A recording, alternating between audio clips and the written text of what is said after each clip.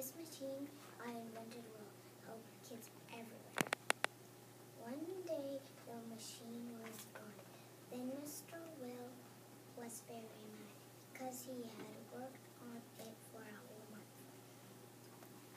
He wondered why someone would take it, but he could track it down with his computer because because it had a tracker on it. He tracked it down, and it was on an island. So he went to the island to talk to the people who stole. Then they said, "Sorry, we stole it. We want to learn how to be scientists too." Then he taught the family how to be scientists. The end.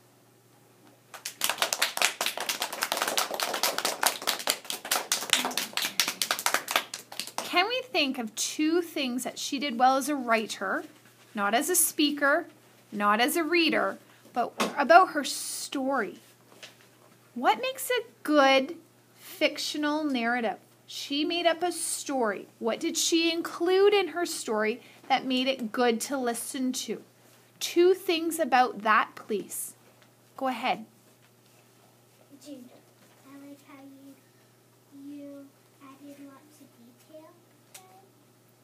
Okay. And one more thing that she did well as a writer. Wyatt, you. I got it.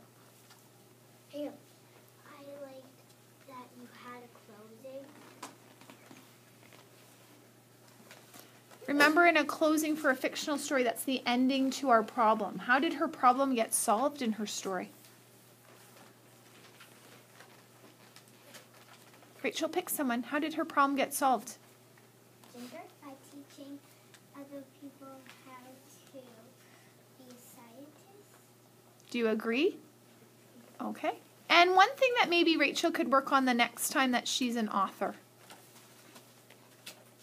Tessa, don't put too many hands and thens on I think you might have used a few thens, right? And we learned some other words instead of then. What could we do?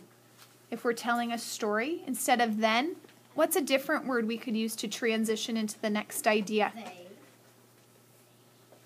First. First, what's some other ones we could use? Logan? Next. Next. After. After. So, Rachel, maybe the next time you could try to use those words instead. All right, one more round of applause for author Rachel.